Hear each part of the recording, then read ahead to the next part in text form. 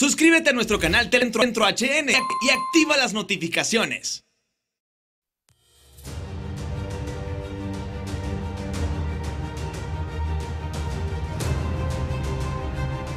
Buenas tardes, le doy la bienvenida a Día Político y es viernes tarde del ring con un tema importante. ¿Conviene o no para Honduras la formación de nuevos partidos políticos? Ya tenemos 10. Vamos a analizar el tema con nuestros distinguidos invitados. A continuación.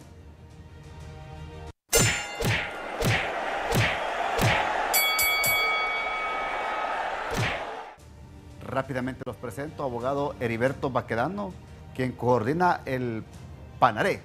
¿Cómo está, abogado? Estamos bien, muy buenos días y al auditorio pues decirles eh, muchas gracias por estar pendiente de este programa que tiene un ranking muy grande y que aquí estamos preparados para discutir temas de mucho interés sobre lo que es el Estado de Honduras y su vivir común.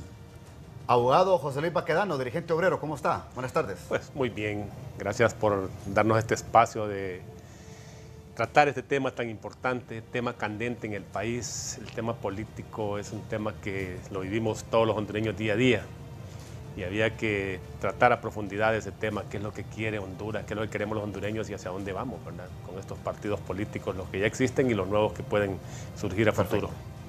Primera pregunta de esta tarde. ¿Conviene para la democracia del país la creación de nuevos partidos políticos? Abogado José Luis Baquedano. Bueno, la Constitución nos da ese derecho a constituir partidos políticos, igual la Constitución de la República pero ya estamos saturados de una cantidad enorme de, partidos. Ya hemos visto en el campo de la praxis que esos partidos al final de cuentas no tienen ese caudal político que, se requiere realmente para hacer una verdadera fuerza política en el país. Tendría que analizar la conveniencia, ¿verdad? Si eso viene a fortalecer más la democracia o, o viene en detrimento de la democracia que se debe de practicar en nuestro país por parte de los políticos. ¿Y en qué puede caer en detrimento la democracia? Bueno, con tantos partidos políticos que al final de cuentas hemos visto en la praxis, en la praxis, que se han convertido en partidos bisagras, que hacen comparsa con los partidos tradicionales. Entonces, eso no abona la democracia. Queremos partidos fuertes, partidos que realmente tengan una posición y piensen en función de los intereses del pueblo hondureño, no en función de intereses de grupos de poder como ha pasado en el momento, ¿verdad? Hemos visto partidos que han surgido eh, poco, hace poco, y que en el campo de la praxis han demostrado que realmente, como planteaba yo, no tienen ese caudal político. Abogado Heriberto. Difiero con el abogado Baquedano porque la verdad de las cosas es que al decir que estamos saturados de partidos políticos, vemos que la tradición liberal y nacional ha mantenido esquematizado a este pueblo y lo han tenido pues sujeto a la voluntad de ellos y no le han abierto los espacios al pueblo hondureño para conseguir una calidad de producto de individuos que a bordo hacia las fronteras del deber puedan presentar propuestas y respuestas al Estado como a la sociedad misma cultivada con ciencias políticas y desarrollarla en el ambiente para un futuro que espera esta nación. ¿Usted cree, abogado, que eso puede cambiar la arena política en el país? Si ya tenemos esa experiencia de algunos partidos políticos, yo eh, respeto criterios, pero hemos visto en el campo de la praxis que esos partidos realmente no han tenido la fuerza esa fuerza que se requiere en el país, tener una, contra, los contrapesos, eh, la, verdadera oposición que debe existir en el, en el país. Eh, de los partidos que están en este momento, hay como tres o cuatro partidos que andan en ese proceso de, de conjuntar esas firmas para poder constituirlos. Habría que ver a futuro, ¿verdad?, la visión que tienen, porque ¿qué pasa en nuestro país? La política es una ciencia. El político debería ser un estadista pero no tenemos estadistas en Honduras, no, no se hace política, lo que tenemos... Pero, pero, pero el abogado Heriberto no, lo considera un estadista. No, no, yo, yo me, me, refiero a los que están ahorita en la arena, en la arena, de los que ya conocemos. abogado. Ahí no, hay, ahí no hay ningún estadista. Yo pienso que la verdad de las cosas no hay que esperar que sigan siendo los dinosaurios en Honduras porque no han dado una cátedra, son secos, políticos secos que se adueñan del espacio y no ponen fresco el lugar para poder ver si hay calidad para transformar. Yo pienso que eh, esa estigmatización de decir que los partidos fuertes, Partido Liberal y Partido Nacional son instituciones fuertes porque crearon una filosofía política, una ideología política y un extracto bastante mal. Bueno, Habría que ver históricamente lo que decía el abogado. Esos partidos tradicionales, al final de cuentas, no han sido la alternativa, en eso estamos claros, ¿verdad? Partidos tradicionales que lo único que han buscado son beneficios para los grupos de poder mantener un status quo en el país con una, con una cantidad de problemas estructurales que nunca han dado respuesta. En eso estamos muy claros. Ahora, y tendremos que tener esa nueva visión de un nuevo, como decía el compañero, el amigo acá, el abogado, un nuevo ciudadano con una visión diferente, porque si nosotros seguimos haciendo lo mismo y votando por los mismos y con las mismas leyes, vamos a tener los mismos resultados que tenemos hasta este momento. segunda pregunta. Aparte de los partidos tradicionales, abogado Heriberto Baquedano, los partidos que se formaron en el país, incluyendo Libertad y Refundación, ¿se apegaron al gobierno? Yo le voy a decir una cosa, la verdad es que Libre ha presentado una tesis de cambio, pero viene de una escuela que es del Partido Liberal y los simientes hechos en esa situación tiene que tener un líder con esa cultura, porque no ha habido una escuela donde ha formado los líderes ideológicamente. Aquí no hay una definición de que en qué ideología están los partidos políticos. Por eso entonces eh, lograron o tuvieron esa habilidad de negociar en estas últimas reformas electorales. Bueno, yo pienso que ellos fueron bien posicionados en negociar, porque un partido que no negocia también es un partido seco y cerrado. Hay que ver el ajedrez que se tiene que jugar y las piezas que tienen que poner para poder salir adelante. Es lo que hizo Libre en este momento. Abogado Bacana. Bueno, Libre hay que ver su génesis, nace después de un golpe de Estado que tanto daño le hizo al país, le sigue haciendo daño hasta este momento. Surge después de esas movilizaciones, cuando surge el Frente Nacional de Resistencia, donde en primera instancia yo soy fundador del Frente, dijimos no vamos a participar en política. Cuando ya regresa Mel al país, entonces se empieza a hablar del tema político. Y ahí es donde pensábamos nosotros como Frente Nacional de Resistencia que íbamos a tener nuestro brazo político, pero cambiaron los roles. Se surge el Partido Libertad y Refundación y lo que tiene es un brazo social. Y al final de cuentas desaparece el Frente Nacional de Resistencia, que es el brazo social que estuvo en las calles y que debería estar en las calles defendiendo al pueblo hondureño. En este, como decía el abogado, en este ajedrez político hay que saber jugar, ¿verdad? Ahora, ¿ese es el temor que usted cree que partidos como el Panaré, que está organizando el abogado Heriberto Baquedano, en el transcurso del camino político puedan cambiar de posición y de ideología? Habría que ver todos los principios, todo el, andamiaje que están, eh, tienen ya montado y que van a montar a futuro para hacer una cree que pueden cambiar? Necesitamos alternativas. Ya el pueblo hondureño está cansado de esos partidos tradicionales. Necesitamos alternativas eh, realmente viables, manejables, que no vamos a tener esos partidos como hemos tenido en los últimos años, partidos que tienen, que recogen 40 mil firmas, tienen 32 mil representantes en las mesas electorales y no sacan ni mil votos. Eso no puede ser. Ahora, ¿usted Necesitamos partidos fortalecidos, fuertes. Veamos los puntos de vista. Estoy de acuerdo en alguna medida con el abogado, pero hay que ver la estructuración de la política hondureña, el manejo de la democracia, el apego a la sustentación de la ley y ver directamente que un partido no cumple los requisitos. Después de haber participado en una elección, debe de versele que seis meses después tiene que ser cancelado o al año cancelado el que no sacó el cociente lograr requerido para darle paso a otro que venga a ocupar el espacio. Sin embargo, vamos a ver que los partidos que están ahorita son partidos que se han pegado como garrapatas a los tradicionales y no han tenido una definición política ni ideológica ni una propuesta al pueblo para demostrar que sí son partidos que vienen a guerrear de frente con la tradición de lo que han sido el nacional y el liberal cuando no le han dejado al Estado de Honduras una cultura política como también un resultado. ¿Pero usted cree sacar los votos suficientes en una elección general? Nosotros... Porque mire lo que dice don José Luis Baqueda, no es cierto. Logran más de 40 mil firmas y a la hora de las elecciones generales solo sacan 2 mil, 3 mil votos. Hay que ver la propuesta que se tiene plasmada y también la respuesta a los problemas. Tercera pregunta esta noche. ¿Es caro para la democracia del país, abogado José Luis Baquedano, mantener tanto partido político activo? Es, es extremadamente caro porque mm, al final de cuentas quien paga esos costos es el pueblo hondureño. No es el Estado, no es el gobierno, no es el partido X, no es el partido, es el pueblo hondureño con nuestros impuestos que tenemos que pagarles después la deuda política, eh, hay que pagar las, eh, las, elecciones primarias, las secundarias, y eso pues tiene un costo para el país. Y ese costo no se ve reflejado en costo-beneficio. ¿Qué gana el pueblo hondureño con tanto partido? ¿Usted cree que los partidos políticos que están en formación lo que buscan es la deuda política? Habría que ver, ¿verdad? Como decía el abogado, cuál es el interés de esos eh, líderes en este momento que están queriendo constituir estos partidos.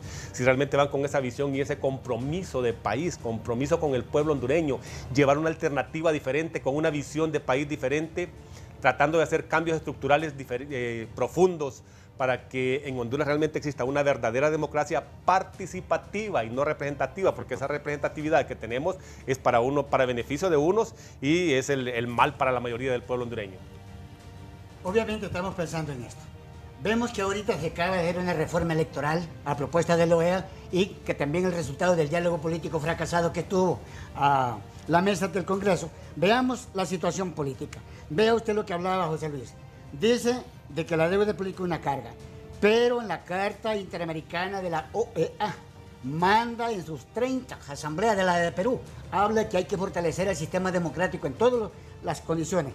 Pero el tribunal ahorita y el Congreso no permiten que partidos pequeños se les tienda el apoyo para que se desplacen y cubriendo las ambiciones que tiene para un pueblo, porque se tiene un círculo vicioso, cerrado, donde no hay que dejar que la competencia se meta, sino porque entonces hay problemas para lo que es la tradición. Sin embargo, hay voluntades de líderes, pero si no se le da los espacios, no va a haber en un país un desarrollo ideológico, social, político. Es decir, usted, puede usted cuestiona lo que dice don José Lo cuestiono no porque quiera cuestionárselo o entrar en competencia, sino que hay que poner los puntos. No hay capacitación política en Honduras. Permítame, ¿está cuestionando su posición aquí el abogado bueno, Yo creo que es cuestión de óptica, ¿verdad? Yo veo la visión de país, veo los problemas sociales, veo que hasta este momento esos partidos tradicionales y los nuevos, que ya no, muchos no son nuevos, ya tienen muchos años ahí, que han sido partidos bisagras que no han dado respuesta al pueblo hondureño y se requiere realmente una visión de país diferente a la que tenemos en este momento. Y aparte de eso, es importante lo que decía el pueblo, tenemos que educar a nuestro pueblo. No podemos seguir siendo simple y llanamente votantes. Debemos de convertirnos en un pueblo elector si en un partido X hay un hombre que realmente pueda ser la alternativa para resolver los problemas del país, habrá que apoyarlo en un momento determinado, ¿verdad? Eh, la democracia es así, tiene su costo, pero aquí también se requiere lo, que el abogado decía, la equidad que debe existir entre unos y otros para que existan esos pesos y esos contrapesos. Ahorita el Congreso Nacional de la República está promoviendo ahorita, un diputado puso la moción ayer, donde dice que tiene que ponerse el 3% a los partidos que se van a inscribir ahorita y no el 2% que tienen ahorita. Es muy grande esa cuota política, o esa cuota de, firmas de 62 mil lempiras. En España usted se inscribe un partido con 3 mil firmas, lo hacen en Israel, lo hacen en Argentina, solo en Honduras hay un cerco mediático. Y me refiero pues que en el mismo Congreso Nacional de la República ponen las trancas para no darle la libertad a los líderes que pueden ser en el relieve vistos para ser seleccionados por el pueblo. Perfecto. Vamos a la pausa, ya regresamos con más.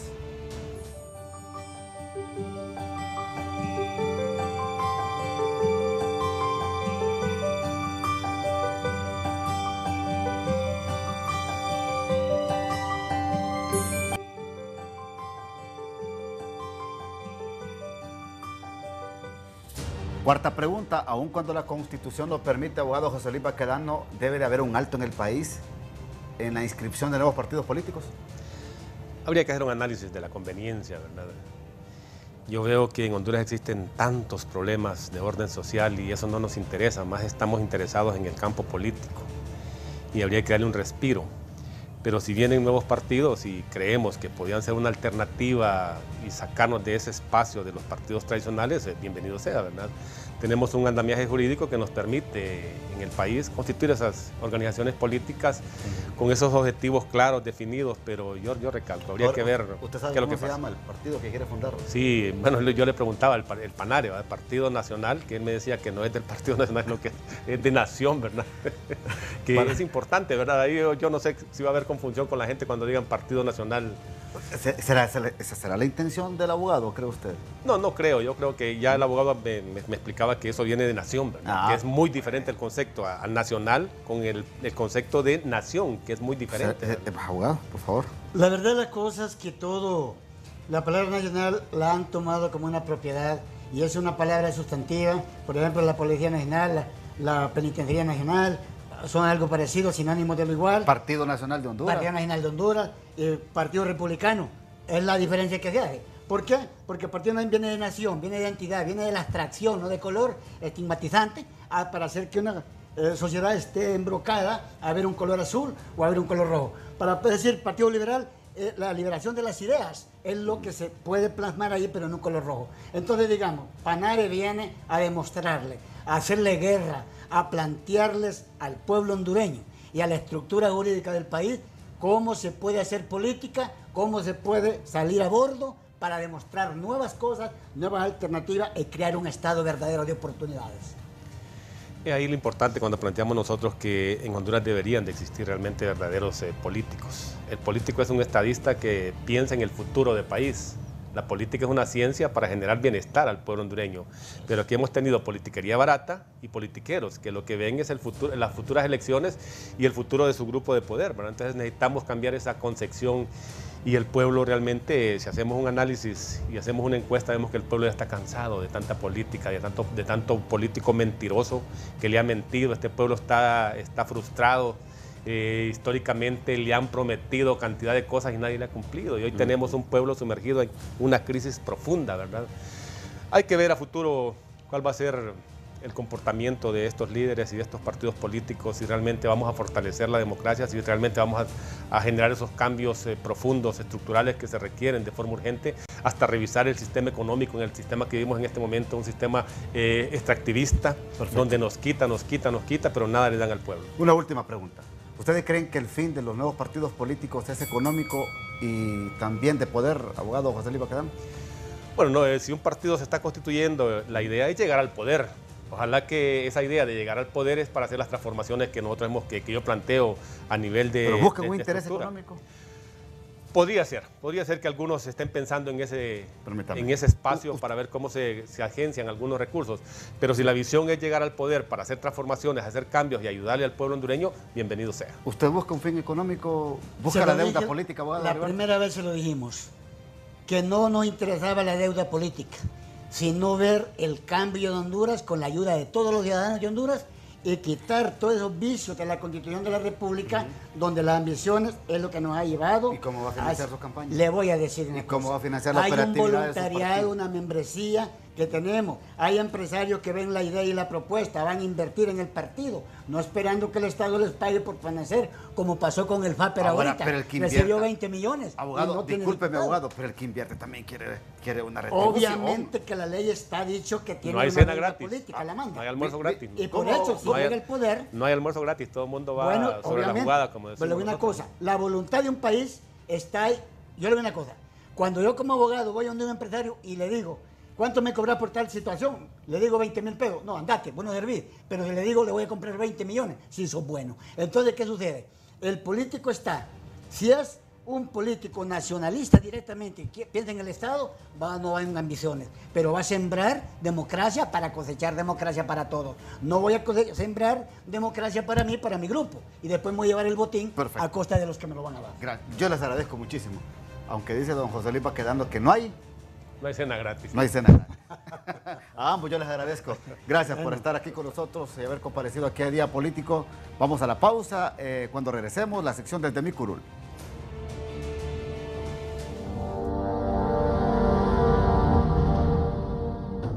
Honduras tenía una población total de 489.367 habitantes en 1901.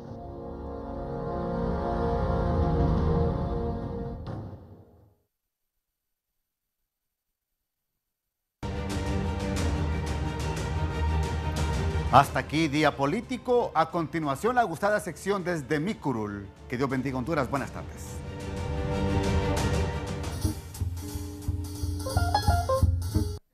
Muy buenas tardes. A continuación, desde Micurul. El polifacético expresidente de Honduras, Manuel Zelaya, dejó por un momento la comodidad y se subió a un mototaxi.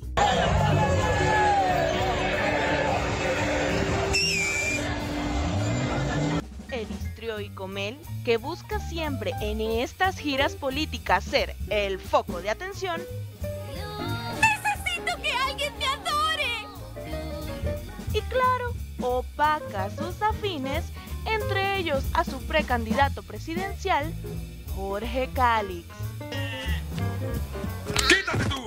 Quien andaba desmemorizado esta semana en las sesiones del Congreso Nacional es el vicepresidente Denis Castro.